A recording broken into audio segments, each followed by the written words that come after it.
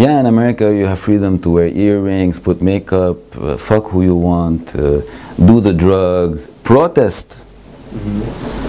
But that's not free speech. I mean, that's, free, that, I mean, and free know, speech correct. and yeah It's totally all, but you know, let me tell you something things, right. but let me ask you one question if the powers that really control america which are beyond the white house we're talking about the real powers that control america really felt that free speech was would endanger their position they would shut it down i mean they walked on uh, occupy wall street with horses and tear gas because what they were saying the, the awakening message that Occupy Wall Street was sending to the rest of America shook a foundation that didn't they didn't want to be shaken. The same as the hippie movement.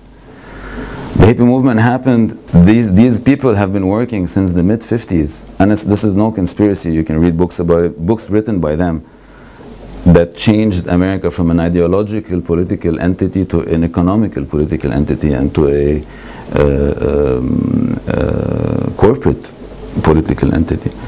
But do you think the Wall Street movement is as influential or, or powerful or popular as the hippie movement No, in the 60s? but no, no, no. They wouldn't even allow it to move there. Political and social change are being demanded, and government needed to adhere. And their, and their system of propaganda and control was not as developed in the late 60s and 70s.